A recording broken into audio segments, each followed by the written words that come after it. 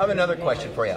Uh, Andrew Gillum is uh, gone around the state saying that he's pro-Israel, but he's also on record opposing the move from Tel Aviv to Jerusalem of the U.S. Embassy, and he's also was opposed to recognizing Jerusalem is Israel's capital. Can you um, round that circle as far as still being pro-Israel but not recognizing Israel or Jerusalem as Israel's capital? Fantastic. I'm glad you asked. So since I'm the state representative who did two things in the legislature, one, I was the representative who filed and sponsored the anti-BDS bill.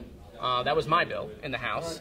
And I'm the representative who actually sponsored the resolution supporting the federal government's action uh, moving the embassy from Tel Aviv to Jerusalem. Uh, I'm actually a pretty good uh, authority on this. So you're at odds with the uh, Oh, no. you're at odds with the mayor then. Uh, we are not at odds, okay? Because I actually think, at the end of the day, Andrew Gillum, first of all, uh, is uh, supportive of, uh, of the anti-BDS legislation. I didn't ask about the BDS. Well, legis- I'm, I'm asking about the embassy No, move and, you- and the recognition because he is on record. He is on record opposing the embassy move. I- I'm giving you a full recitation because both of these issues have come up and they've come up together. So I'm giving you a full recitation. So first, he's supportive of the anti-BDS legislation because they brought that up several times. Even even though the Dream Defenders, uh, who he's very close with, his good friend Phillip Agnew, his good friend Phillip Agnew is a firm supporter of BDS, and he has endorsed the Dream Defenders. The B, uh, Dream Defenders have endorsed him. I also want to give a shout out to you, Miss Floyd, and to the Dream Defenders. This, this issue's come up several times as if like Phillip Agnew is his godfather. Okay, like uh, th- this idea, like you can't have friends that you disagree with. We came here to Palestine to stand in love and revolutionary struggle with our brothers and sisters.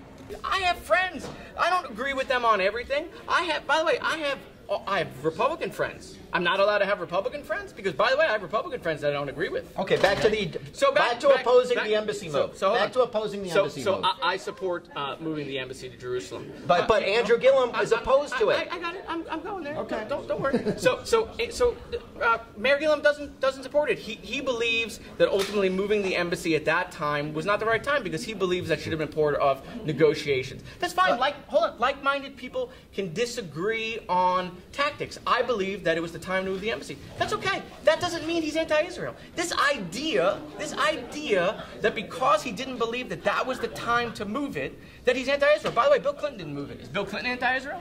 Uh, I'm not. I won't go into that. How Whoa, about whoa, whoa, whoa, whoa, whoa, whoa, whoa, Why are the rules different from Bill Clinton? Why are they different from Bill Clinton? Bill Clinton, Bill Clinton did not oppose it? promised to move and didn't move it. So Bill Clinton's anti-Israel. No. Well, but, but Andrew Gillum opposed Why it. are the rules Andrew? Gillum. Why, Why can't you answer the? Question? I answered you. No, you're Why the you're changing the words of the No, question. no, no. Why you the are rules- changing the words of the are rules question. different for Andrew than they are for Bill Clinton? So Bill Clinton is anti-Israel. I didn't say Bill Clinton is anti-Israel.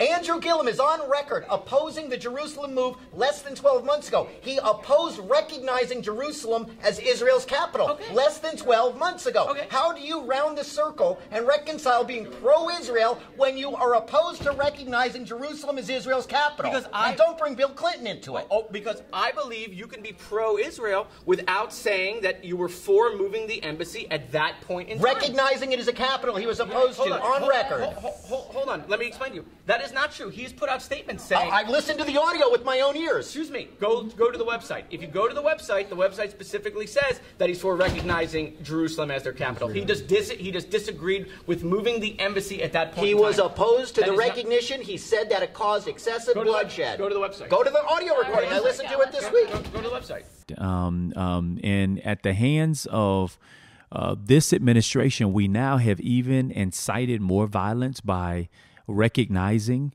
um, uh, Jerusalem to be the capital and also to locate the United States Embassy there. Again, just adding uh, more fuel to the fire.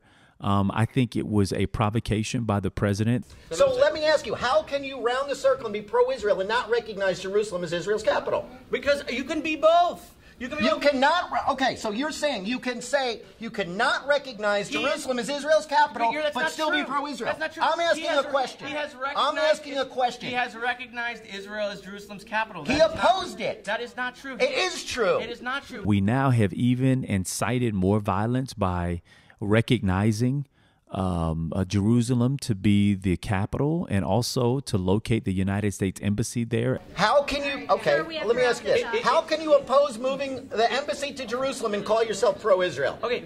How can you affiliate with the Dream Defenders and call yourself pro-Israel? Who says he's affiliating with the Dream Defenders on Because that he issue? endorsed on that them. issue. We have to On that issue. Who says he's affiliating with them on that issue? On They have that a issue, really? They have a multitude of issues. Okay. Okay. Okay. It was good work. It was a nice try. Nice try. It was. You're a liar, man. I'm not a liar. In the blue corner. I'm not a liar. No, you're not a truth teller. What do you mean I'm not a truth teller? You can't say that the guy did not oppose moving the. Uh, I'm sorry. You cannot say that he did not oppose recognizing Jerusalem. I listened to the audio He's tape. recognized it. I li- listened to the audio tape. All right, you know what? Forget it. It was nice meeting you. I'm going to put this together with the audio tape of it. It'll make a nice video. Put it together. We now have even incited more violence by recognizing um, uh, Jerusalem to be the capital Ay, ay, ay.